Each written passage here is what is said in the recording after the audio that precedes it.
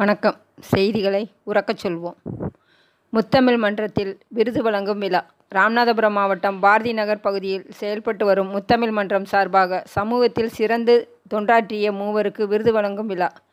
இந்த விழா முத்தமிழ் மன்ற தலைவர் கவிஞர் மானுடப்பிரியன் தலைமையில் காளீஸ்வரி ஆசிரியர் இளமதி பானுகோபன் முன்னிலையில் நடைபெற்றது. உமா மகேஸ்வரி மாரிமுத்து வரவேற்புரை நிகழ்த்தினார். விருது வழங்க சிறப்பு விருந்தினராக கம்பன் கழகத்தின் தலைவரும் நிறுவனருமான ஆடிட்டர் சுந்தரராஜன் விருதுகளை வழங்கி சிறப்புரை நிகழ்த்தினார்.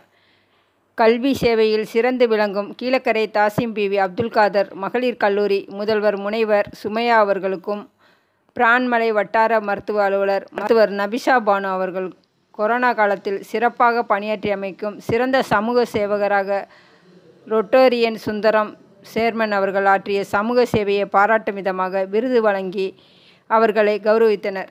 நிகழ்ச்சி ஏற்பாடுகளை முத்தமிழ் மன்ற நிறுவனர் ஜஹாங்கீர் ஏற்பாடு செய்திருந்தார். ஏராளமான தமிழ் ஆழ்வர் ஆர்வலர்கள் இக்கூட்டத்தில் கலந்து கொண்டு சிறப்பித்தனர். வணக்கம். புதல்வர்கள் விளைதல் இல்லை அப்படின்னு பாரதிதாசன் சொன்னார்.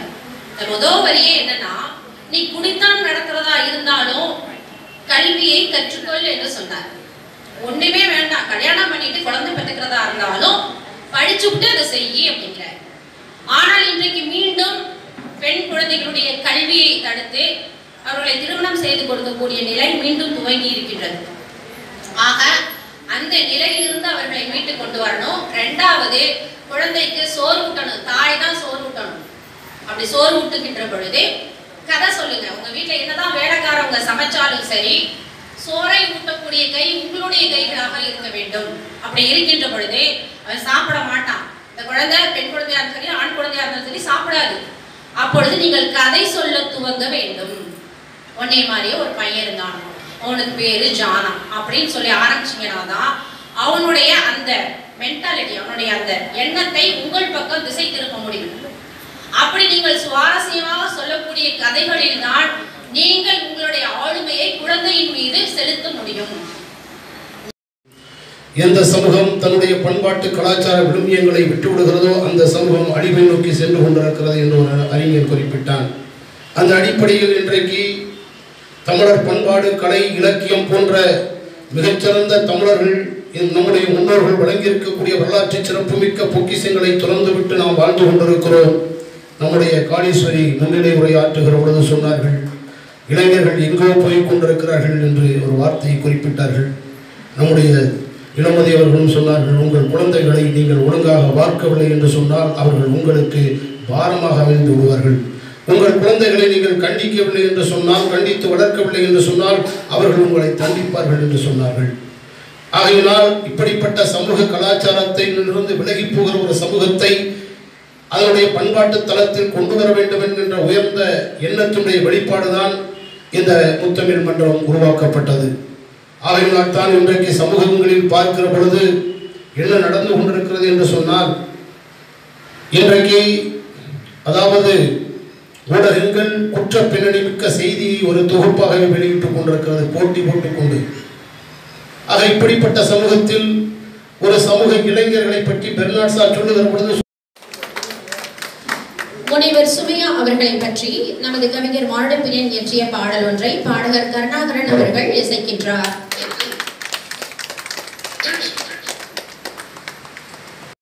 டாக்டர் சுமையா அசலம் அழைக்கும் முத்தமிழ் மன்றத்தின் கல்வி விருதை பெற்றிட வந்து முதல்வரை வாழ்க முத்தரை வாழ்க. விடியலை விரிக்கும் கீழே.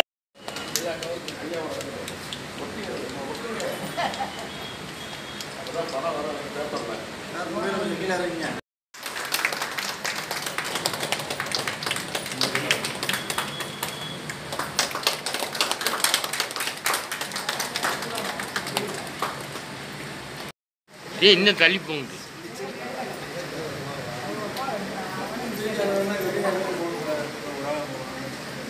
Sundaram chairman IRCS and RPCA Ramanathapuram அவர்களை பற்றிய பாடலை பாட பாடகர் கருணாகரன் அவர்கள் மேடைக்கு வருமாறு அன்போடு.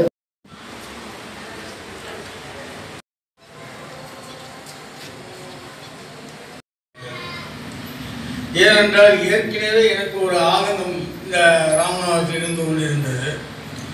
தமிழை வளர்க்க வேண்டும் தமிழை வளர்க்க வேண்டும் இருக்கின்ற பொழுது தமிழ் சங்கம் மட்டுமே இருந்து இயங்கிக் கொண்டிருந்த காலகட்டத்தில் நான் கம்பன் கழகத்தை ஆரம்பித்து நடத்தி கொண்டிருந்தோம்.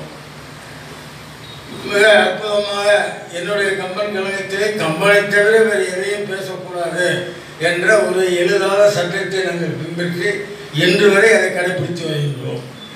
ஆனால் எங்களுக்கு இருக்கிற தமிழ் அறிஞர்கள் எல்லோருமே பலவிதமான தமிழ் காவியத்தை படித்து அதை எடுத்து சொல்வதற்கு ஒரு களம் இல்லை என்ற இயக்கங்கள் எங்களுடைய உறுப்பினர் மத்தியில் இருந்து கொண்டே இருந்தது.